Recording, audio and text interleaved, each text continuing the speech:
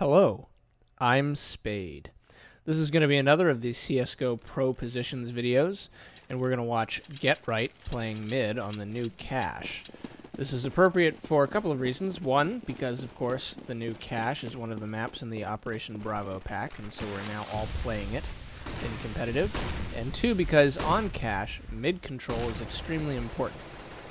So having a few ideas on where to play it from could be kind of useful.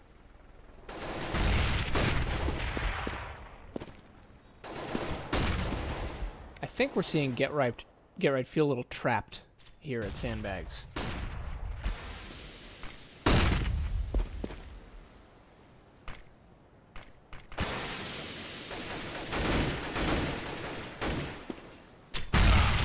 And sure enough, a nade ends it.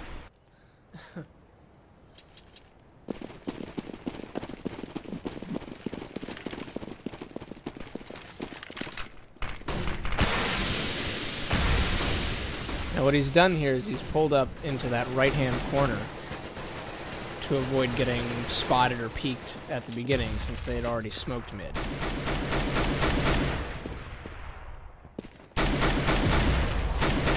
That wall is completely spammable. So you can see he actually does a little damage there too.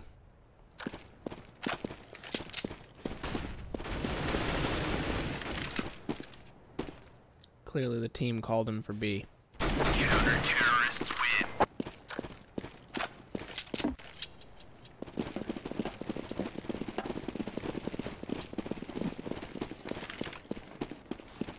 So sandbags is an option. Playing back up there in that area is an option. You can also get up here and vent. And you see where he throws those nades. Th those nades come right over towards the entrance to A main from T side. So he can flash people over there. And the nade didn't do any damage, but if somebody had been boosting up to, to peek mid, probably would have landed on them.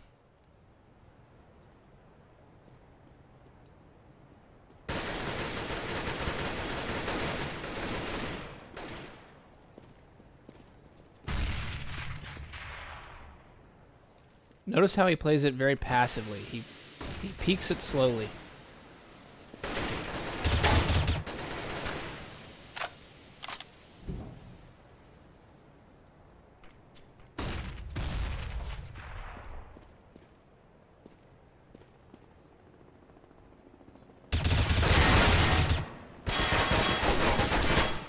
And a quick getaway.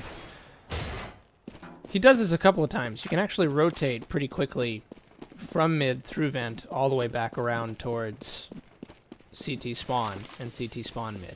And what I thought was interesting here is rather than pushing back up into mid because he's low HP, I assume, he picks a spot right here near near the ramp to A site.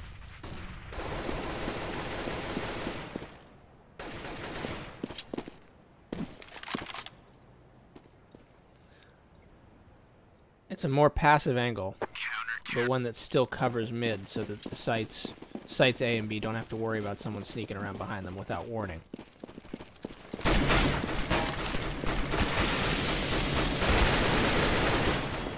Gets hit through the smoke there. That smoke he throws to mid is a pretty common one if you're playing CT side. Now I like that. He pulled out the silenced pistol to break vent, which tells the dragons that he is on the vent side because normally what happens is when somebody breaks that vent they're going to hide in it like he had done previously. So they're probably thinking okay we need to worry about the left side when we push out from mid. Directly over his head is where they would show up if they boosted over that side. But he sees the nade so he knows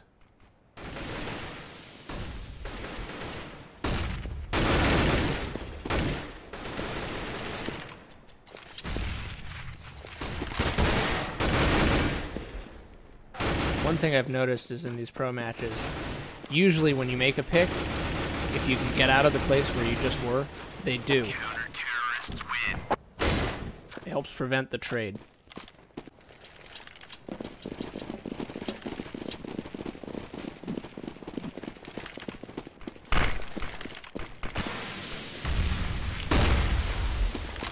This round is not particularly imaginative in terms of spots.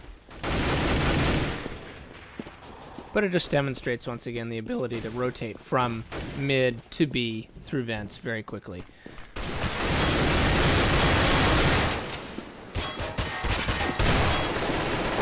And that's a quick snapshot of Get Right playing mid on Cache. Spade out.